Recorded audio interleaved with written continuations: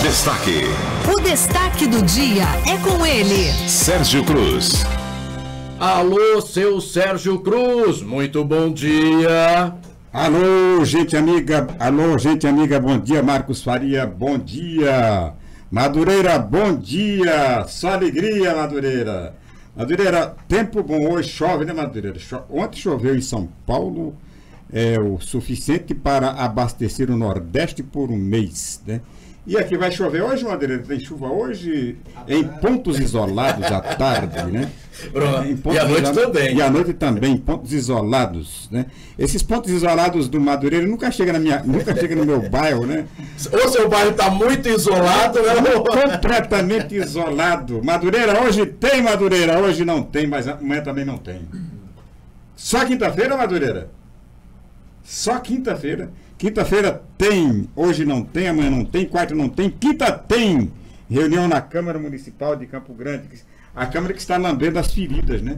O, a Justiça finalmente é, decidiu em primeira instância, claro, a Câmara tem os recursos, mas decidiu que o processo de cassação do, ao prefeito Alcides Bernal foi realmente um golpe político contra o prefeito. Né? Foi o que decidiu. O juiz, é claro, a Câmara, como eu disse, tem todo o direito e naturalmente vai recorrer, mas a princípio, a princípio a conclusão que o juiz chegou e deu a sentença indiscutível, que sentença não se discute, sentença se recorre, é de que realmente a cassação do prefeito Alcides Bernal foi uma verdadeira fraude.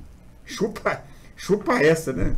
Chupa essa, né? O, o é, agora, essa Câmara Municipal que está aí, que encerra seu mandato no dia 31 de dezembro, ela teria que ter, né, já a partir da eleição, o máximo cuidado para que as ações de repressão ao prefeito Alcides Bernal não prejudicasse. Aliás, durante o mandato inteiro, eu me refiro à eleição, porque a eleição é um, é um marco temporal importante, porque já começa na eleição uma nova gestão municipal. Mas não, não precisava ter feito tudo o que fez, né? Vai sobrar muita coisa para a gestão do, do Marquinhos Estrade, que não tem nada a ver com essa briga de Bernal, com, com Câmara Municipal, né? que é, está é, será um marco, no, um novo marco na gestão pública de Campo Grande. O, fica para o, o Marquinhos, além de toda essa confusão de financeira, de, de cadim, pendências né, que terminam impedindo a administração de contrair é, é, financiamentos e empréstimos junto à União e até recursos né, de, de, de emendas da União, o, o, município realmente fica privado por muito tempo, não sei até quanto tempo, é claro que o, o prefeito eleito já está trabalhando nessa direção, na direção de é, desempatar né, todo esse, esse mundo aí que foi criado nessa até nas gestões, até e principalmente nas gestões anteriores, porque essa história do PIS-PASEP é coisa que, que que o município não recolhe desde a administração do André Putinelli, passando pela, pela administração do Nelson, entrando na administração do Bernal, do Olarte, volta para o Bernal. Parece que, as que os prefeitos não estavam preocupados em pagar a conta. Agora vai você tentar tirar uma certidão lá na prefeitura, se você não tiver com suas contas todas em dia, em todos os lugares, né? Você não consegue. Mas a prefeitura não paga as contas né, que, é, que são obrigadas a fazê-lo por lei. O, fica para, ó, o que, que vai ficar pro, o que, que vai ficar? Tudo foi feito para tentar atrapalhar a administração do Bernal. Isso é verdade, não, adianta você tentar ficar escondendo. Né? Eu, eu, as pessoas me chamam de lambibota de, de governo, até que eu defendo o governo, sim. Eu defendo os governos, princip, principalmente os governos democráticos. Eu era contra a ditadura, agora não sou contra o governo eleito pelo povo, nunca fui. Acho que nós temos, nós que temos compromisso com a, com a com a democracia, nós temos que defender quem está no governo e quem está no governo colocado pelo povo. Daí, eu defender, defendi, sempre fiz isso, a administração do, do Bernal, a administração do Nelsinho, do Putinelli, do governador Reinaldo Zambuja, e eu faço é, com, sentindo a, a, a, necessidade de fazer pelo compromisso que eu tenho com a democracia e pelo compromisso que eu tenho com a minha cidade e com o meu estado. Defendi a administração do, do Bernal, defendi a administração do Bernal, como defendi a administração do Nelsinho, sem deixar de lado, sem é, é, fugir ao compromisso de criticá-lo quando, quando precisava. Eu fiz isso durante todo o mandato do Bernal, mutilado o mandato do Bernal, fiz isso no Olarte e vou fazer, vou continuar fazendo. Agora, não posso deixar de, de lamentar essa falta de sensibilidade desta legislatura da Câmara Municipal. Realmente totalmente insensível. Trabalhou contra o prefeito, mas trabalhou também contra o município de Campo Grande. Quer dizer, o, no afã de prejudicar a, o prefeito, o chefe do executivo, terminou prejudicando o executivo e prejudicando toda a administração em atitudes relevantes que poderão demorar muito tempo para ser colocado em ordem a administração municipal. Nós temos aí, por exemplo, a lei da suspensão da taxa de iluminação pública, um absurdo, né? Eu, eu, sou, eu sou contra a taxa, eu acho que essa taxa não devia existir sequer. Agora, do jeito que foi feito aí, pra, só para prejudicar, não, vamos, vamos, vamos suspender. E suspender a taxa, meu. Quer dizer, é, sei lá que você a volta, né? Se volta, vai voltar a taxa, a suspensão vai acabar? E como é que fica a gestão, a futura gestão do, do, do Marquinhos Estrada sem a taxa? Já que a taxa faz parte, inclusive, da, da planilha né, de gestão pública de Campo Grande. Ah, outra coisa que fica, né? isenção do ISS para o, os, as empresas de transporte coletivo. Foi feita uma isenção para baixar a passagem. E vai ter reajuste, vai cair a, a, a, isenção. Outra, que eu nem sabia, redução do ISS para a CCR, a empreiteira aí, a, a concessionária da BR-163. Reduziram é, o, o, o ISS para isentar os moradores do distrito de Anhanduí. Né? Será assim, como é que controla isso, né? como é que é feito esse controle? Mas são bombas, né, buchas que essa Câmara Municipal está deixando para a futura administração. Além, naturalmente, da lei dos buracos, nessa lei que o cara me chamou de bosta de gato, porque eu critiquei, é, é, é, que determina que os buracos da cidade, no centro da cidade, só podem ser tapados durante a noite ser mudando, inclusive, o expediente, né? Coisa que a prefeitura é que tem que determinar, não é a Câmara Municipal que tem que determinar. É claro que é muito cômodo, né, para quem está dirigindo no centro da cidade, não ter que passar pelo transtorno de uma operação tapa-buraco durante o dia. Mas é claro que isso custa mais. E não é só o tapa-buraco, você vai tapar buraco, de repente vai fazer recapeamento à noite. Quer dizer, o custo. Precisa analisar a questão do custo-benefício, né? Que não foi analisado. O cara, o vereador chegou, não, vamos tapar buraco só à noite porque está me incomodando, tal. Vamos tapar só à noite. Então, é, essas coisas vão ficando, quer dizer, para atrapalhar a próxima gestão, porque a gestão do, do Bernal já chegou ao fim, acabou, derreteu, não tem mais o que, o que discutir, não tem mais o que fazer nesse mês e pouco de, de, de, de, de mandato. É, e uma outra coisa, né? A redução da margem de suplementação orçamentária.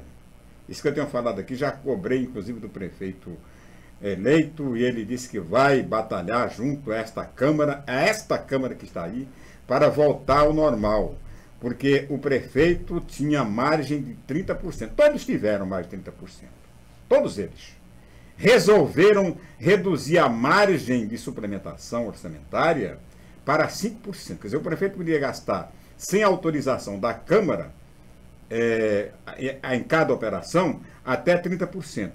Hoje o prefeito pode gastar apenas 5%. Quer dizer, coloca o prefeito de joelhos e com a mão, né, e, e, e, chapéu na mão, diante da Câmara Municipal. Como se isso fosse uma coisa, né? Ah, vamos, como se a Câmara Municipal fosse o exemplo de honestidade. Vamos lá, tem que passar pela Câmara, porque a Câmara tem se mantido e tal. Quando não é assim, né? A Operação Coffee Break mostrou que não é bem assim. Quer dizer, pode ser assim, mas não é necessariamente bem assim. O lamentável acidente ocorreu na marginal, na Ernesto Geisel, marginal do córrego Anhanduí, esta semana carro caiu no rio e três pessoas morreram. É um. Poderia ter sido evitado se tivesse o guarda-reio, né? tivesse aquela proteção na beira do córrego, na beira do rio, porque o pessoal via, né? De vez em quando cai com proteção em tudo. Mas a proteção, é, pelo menos, sinaliza, né? A, a, dá uma, o mínimo de segurança para os motoristas. Isso, isso a gente vem pedindo faz tempo. Não custa caro, a prefeitura podia fazer, não só na, na, na Ernesto Geisel, mas em todas as ruas, todas as avenidas e beira de ribeirinhas aqui de, de Campo Grande, para evitar o que aconteceu. Porque não é a primeira vez que acontece, me parece que é a primeira vez que morre gente, né? Mas carro cair naquele trecho ali é uma coisa até meio que comum.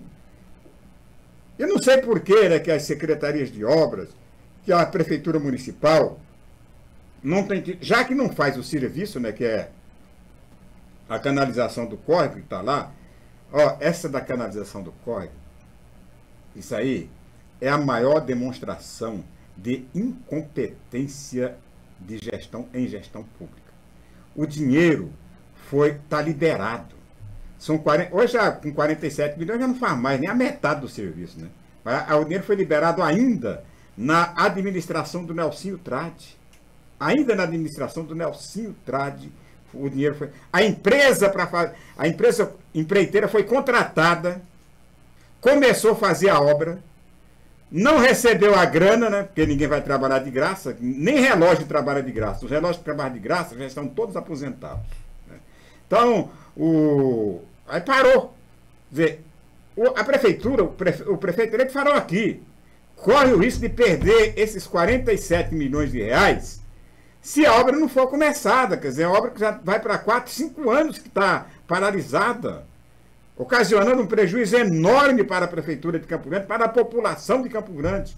E o pior de tudo é perder esse dinheiro, porque não está fácil você conseguir dinheiro lá em Brasília, é a coisa mais difícil do mundo. Ainda mais com essa crise aí que aí pega um dinheiro que já existe, uma verba que já está carimbada e liberada para Campo Grande e deixa perder. Quer dizer, passaram aí três prefeitos, meu. O Nelsinho, o, o Bernal e o Olarte, nenhum deu conta de recomeçar a obra, de fazer a obra. Uma obra importantíssima para a cidade de Campo Grande, que é a, a urbanização desta a canalização, a urbanização desta avenida Ernesto Geisel.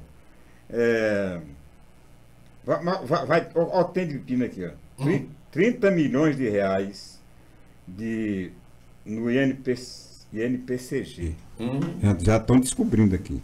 O, o Bernal adiou, ia ser hoje a reunião da, da comissão de transição, ele adiou. Não sei por que está adiando, né? Tem, já devia, essa, essa comissão, já devia estar tá funcionando, devia estar tá trabalhando e mostrando as coisas. Se não tem nada para esconder, não tem também que ficar adiando. Ah, a administração do Bernal foi administração transparente. Então tá aqui, ó. Gastou tanto, fulano roubou tanto, tem que mostrar, tem que abrir a caixa preta, não pode preservar ninguém que tenha cometido mal feito, que tenha cometido um ato deletério contra a prefeitura municipal, contra o município de Campo Grande, não pode esconder. O prefeito, se esconder, o prefeito vai mostrar um certo acompliciamento, que eu não acredito que vai acontecer. Então, por que ficar adiando? Já adiou não sei para quando, agora adiou, adiou para segunda-feira, de segunda-feira vai adiar não sei para onde, não sei para quando. O que, que está acontecendo que não se abre essa caixa, que não se mostra a realidade de Campo Grande, para que a população possa entender o que realmente está acontecendo? O... Foi nomeado um coronel para coordenação da FUNAI em em Mato Grosso do Sul.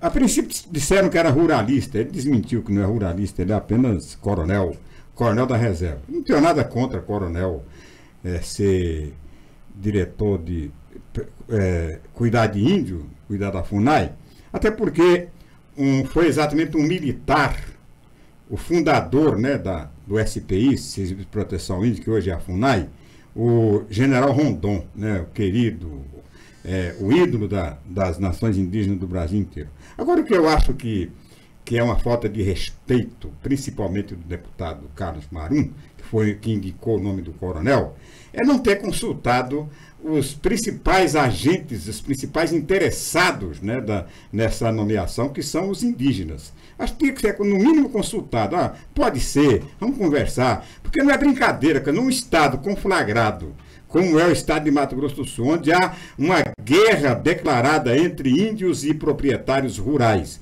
Você coloca um coronel para ser é, é, coordenador da FUNAI, é, é uma provocação, no mínimo é uma provocação. Eu acho que a, os índios deveriam ter sido. Sabe por quê, gente? A FUNAI é uma organização que atende interesse dos indígenas. Ela defende o interesse dos indígenas. Essa, esse é, é o papel da FUNAI.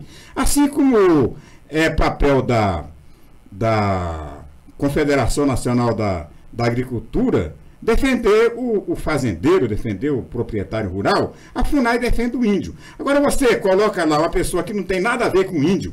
Eu vi a entrevista dele que ele conhece índio de avião, né, lá, lá no Amazonas. Então, coloca um cidadão desse para tomar conta de índio, é claro que não vai dar certo. É claro que ao invés de, de, de amenizar o, a dramática situação de conflito que existe em Mato Grosso do Sul, pode agravar. Até porque os índios já invadiram, já ocuparam o prédio da FUNAI e não vão, deixar ele tomar, não vão nem deixar ele tomar posse da FUNAI. Então, eu acho que o deputado Marum, de, no afã de, de, de agradar os fazendeiros, ele devia ter colocado em primeiro lugar os interesses de Mato Grosso do Sul e os interesses da, das nações indígenas, ou pelo menos o interesse da pacificação entre índios e fazendeiros, não colocar, tender né, definitivamente para um lado, que isso aí realmente pode prejudicar.